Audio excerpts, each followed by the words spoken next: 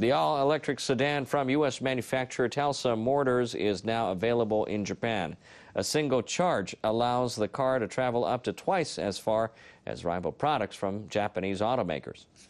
Three, two, one, zero. The first Model S sedan in Japan was delivered in Tokyo on Monday.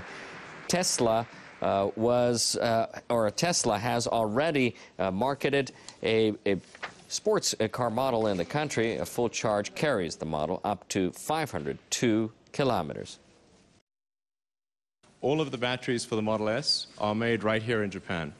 And the battery is the heart of the electric car, obviously. So another way of saying it is the heart of the Model S is Japanese. And I think that's a pretty cool thing. The starting price for the Model S is around $78,000 in the U.S. The company says government subsidies for electric car buyers will lower the price in Japan. Very easy to use. So Tesla has opened a charging point in central Tokyo that's free for Model S owners. It plans to set up other stations throughout the country. Sales of all electric vehicles by major Japanese automakers have been sluggish. The entry of the Model S will likely boost competition. the big car companies assumed that you could not make a compelling electric car. That if you did make an electric car, it would be like a golf cart. I don't think there's anything quite like the Model S because the Model S is a premium sedan that's pure electric and has long range. I don't feel like we're sort of breaking in to, to sort of take market share because there's not, if you want a car that has those characteristics, there is only one. Some U.S. made, uh, some U.S. media rather have dubbed Tesla CEO Elon Musk the next Steve Jobs due to his management skills. He operates other businesses, including a solar energy company.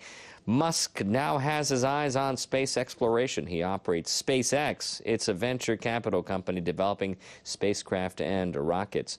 In 2012, SpaceX launched an unmanned spaceship that docked with the International Space Station.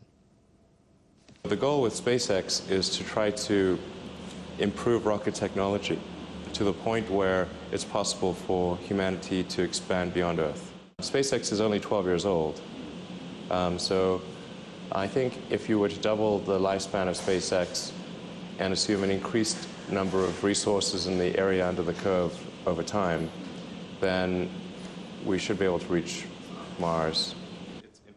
Musk says he thinks of what is important for the future of mankind and how he can contribute to achieving it. And that's what he calls his business model.